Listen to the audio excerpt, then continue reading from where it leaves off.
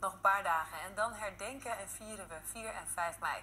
Op bevrijdingsdag zijn er traditioneel overal in het land bevrijdingsfestivals, waarvan die in Haarlem de oudste is. Verslaggever Mark Campus is daar nu bij de opbouw aanwezig. Goedemorgen Mark. Goedemorgen, Welmoed. Ja, het begon hier allemaal in 1980, het eerste bevrijdingsfestival. En nu is het immens groot, hè, want eh, zondag worden hier 130.000 bezoekers verwacht. Hier achter mij zijn ze druk bezig met de, de opbouw van een eh, heel groot eh, podium. Eh, er staat hier iemand bij me. Goedemorgen. Vertel eens, ehm, het begon allemaal in 1980. Hoe was dat toen? Ja, nou, ik was er zelf natuurlijk niet bij. Maar Eelke van der Linden die heeft toen tegen zijn vader gezegd van... ik zou graag wat voor de jeugd willen doen. Alles in qua herdenken is voor ouderen. En zijn vader heeft toen gezegd, hier heb je 100 gulden en organiseer wat. En zo is het eerste bevrijdingspop ontstaan. Ja, dat was hier een poptempel, hier om de hoek. Eh, hoeveel mensen kwamen er toen op af? Nou, ik zullen er misschien een stuk of 100 zijn geweest. Er moesten zelfs nog betaald worden, 50 cent geloof ik. En eh, ja, dat is, eh, uiteindelijk is dit het geworden. Ja, een heel groot festival. Hoe is dat zo groot geworden al ineens hier?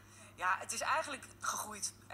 We hebben eigenlijk elk jaar weer hele goede bands staan goede geprogrammeerde dingen. En daar komen steeds meer mensen op af. En dan ook nog een fantastisch park waar we dat kunnen doen. Ja, want 130.000 mensen worden verwacht, heel veel verschillende podia. En wie staan hier straks op dit grote podium? We hebben hier in ieder geval Miss Montreal, Jet Rebel, eh The Fun Loving Criminals en Ronnie Flex.